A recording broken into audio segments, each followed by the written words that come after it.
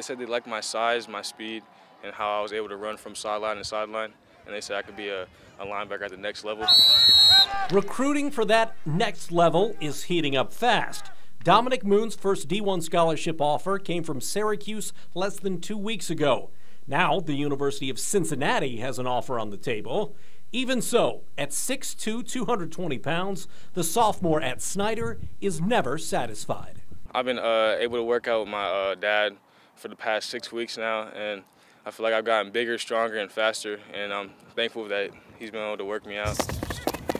Just working on being a, a better leader and communicator, uh, being able to communicate with uh, underclassmen, so they can be able to be the best that, as they can be. Linebacker was the best position for me. Um, colleges see me as a linebacker with my size and my speed. Domanick's older brother DeMarcus was a standout linebacker at Northside who went on to play D1 football at Eastern Michigan.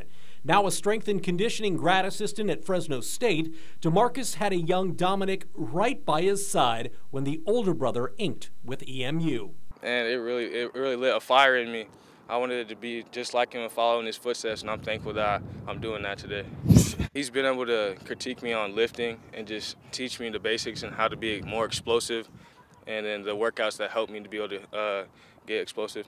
While Domanick's drawing interest for his individual talent, this moon won't eclipse his team. Hopefully, go undefeated, and just to, uh, just really to uh, make sure that um, that we're good as a team, and we're not we're not uh, separated and we're as one, so we can be able to play the best we can. Uh, can.